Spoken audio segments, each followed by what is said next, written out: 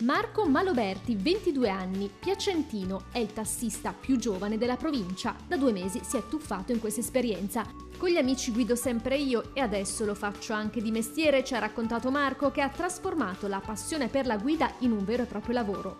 Lo abbiamo incontrato di fronte alla stazione di Piacenza, a bordo del suo taxi nuovo fiammante. Ha preso la licenza e si è iscritto all'albo degli artigiani due mesi fa. A me piace molto guidare e poi tra i miei amici sono uno dei pochi con la patente, quindi guido sempre.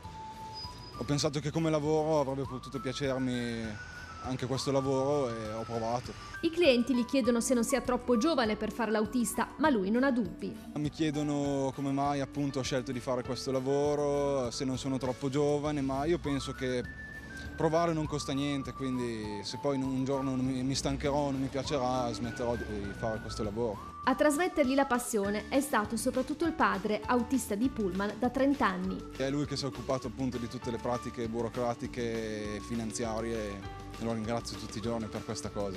Il lavoro di tassista lo impegna anche oltre 10 ore al giorno, ma Marco non si lascia intimorire. Non è diciamo di, un lavoro molto stancante, stanca a livello psicologico un po', ma sicuramente meglio che lavorare in fabbrica.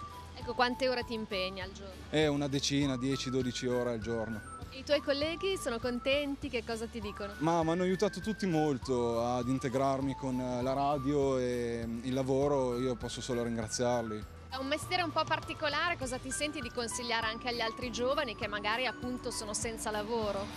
Io consiglio sempre di cercare lavoro, anche i lavoretti che magari sembrano pagare poco è sempre meglio farli perché portare a casa uno stipendio è comunque utile a se stessi e alla famiglia.